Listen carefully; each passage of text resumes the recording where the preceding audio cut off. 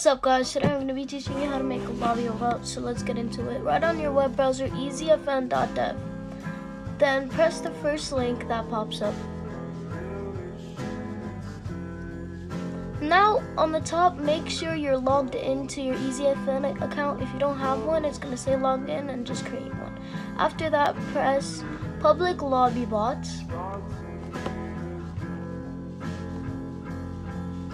Then after that, press create a bot on the left.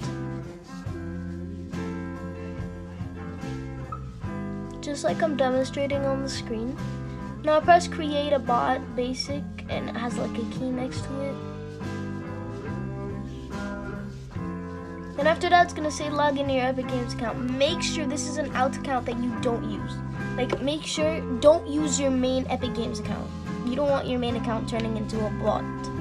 So just like make a new Epic Games account. Like use an alt account. Now, um, if you don't have an alt account, press sign up. If you already do, just log in. And it's the process of me making the account. I had to blur some stuff out. And it's me writing the code.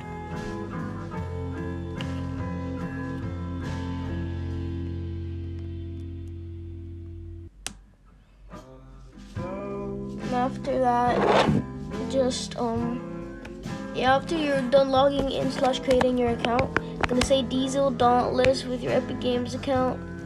Use Diesel Dauntless with your Epic Games account. Make sure this is the Epic Games account that you just logged in. After that, just press allow. Then on the top, it's gonna say lo successfully logged in with whatever your account is called. Creating the bot. It's gonna say adding. Please wait. Identified is now online. And after that, just press your bots and find it there. Don't mind the other bots because like the other bots are like other bots I made a couple weeks ago.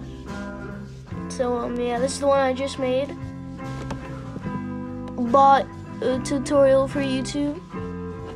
So um yeah, that's how you make a bot and after you're done add it on Fortnite and enjoy.